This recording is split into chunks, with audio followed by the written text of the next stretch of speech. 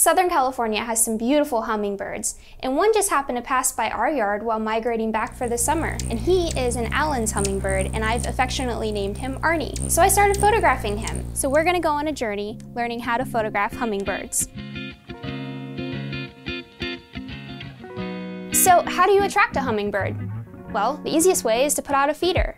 But what do you put in that feeder? If you do a quick Google search, you'll see there's some serious misconceptions about it, and people just really don't know. It's just a simple ratio of four parts water, one part sugar, and change it out every week or so. That way, he doesn't have stagnant water in his feeder. Also, I put links in the description if you liked this one. Now let's talk about composition and why it matters how you set up your shot. The first thing to keep in mind is your position relative to the sun. Notice how our shadows are pointing at the bird? That's because we want him directly lit for two reasons. One is because we need a super fast shutter speed, which we'll cover that in a minute. And two, some male hummingbirds have iridescent throats, known as a gorget.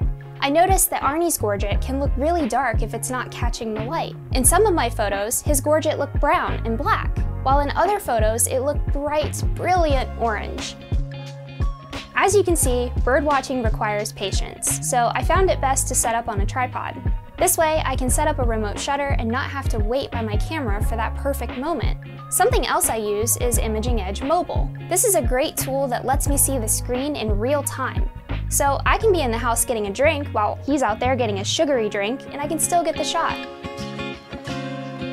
If you're seasoned in photography, you can photograph a hummingbird. Now I won't lie to you, it's not easy. Even some of the best bird photographers I know have said it's very hard to photograph birds, especially birds that beat their wings at around 60 beats per second. For that, you're gonna need a super fast shutter speed. Right now, I'm around 4,000. You could go even faster than that, but my camera looks about the best around 4,000. I'm also shooting with a wide aperture so that I can allow for as much light as possible. With the a7 III and my 200 f4 lens, 5.6 seems to be about the best aperture to get enough of him in focus and still let enough light into the sensor. Here's a fun fact for you. These amazing birds rotate their wings in a figure 8 pattern, which makes them the only birds that can hover in place. That's why you're going to want that super fast shutter speed so that you can freeze their wings at their endpoints. That we've dialed in our settings, let's set focus. Here, I'm manually setting focus using a card that I've taped to the side. I've also plugged all but one of the feeder spouts to encourage Arnie to go to the exact spot I've set focus to. This works just fine, but I actually found an easier way. If your camera has animal eye detect, you can let it do all the heavy lifting. A super helpful tip I learned is that if you can get the eye in focus, you can get the bird in focus. A couple things I'd like to say. This didn't happen overnight. It took a lot of patience and a whole lot of practice to be able to photograph hummingbirds.